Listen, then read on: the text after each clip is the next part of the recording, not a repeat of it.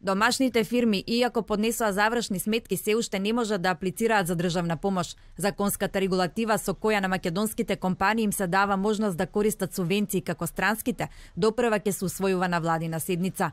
Постои ризик предложениот закон, кој беше најавуван како клучен за економскиот раст на државата, да заглави во собранието, поради политичките натегања за законот за јазиците. Министерот за економија Бектеши очекува законот владата да го усвои во вторник, и уште еднаш ги повика претениците што поскоро да го изгласат. Сум разговарал и има значи подготвеност од председателот на собранието за овој закон да се стави во дневен ред што е можно побрзо.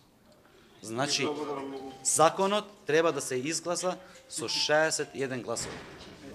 Но јас, јас ги повикувам за сите 120 пратеници да го гласат овој закон.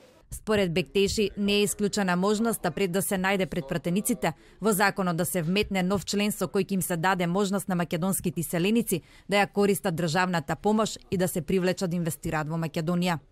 Бизнис заедницата пак неколку пати ја повика владата што побрегу да го донесе законот со што ќе ја направи достапна помошта и за нив. Председателот на Стопанската комора на Северозападна Македонија Неби Ходжа вели дека предвидените субвенции се доволни, но распределбата мора да биде транспарентна. Мислиме дека треба да се формира некој орган што ќе ги надгледува овие средства и зашто да не да тие е, нерегуларности да се санкционираат на некој начин за да може поуспешно и поефикасно да се реализираат подршката поддршката на, на бизнисот. За економскиот развој во буџетот, оваа година предвидени се 50 милиони евра.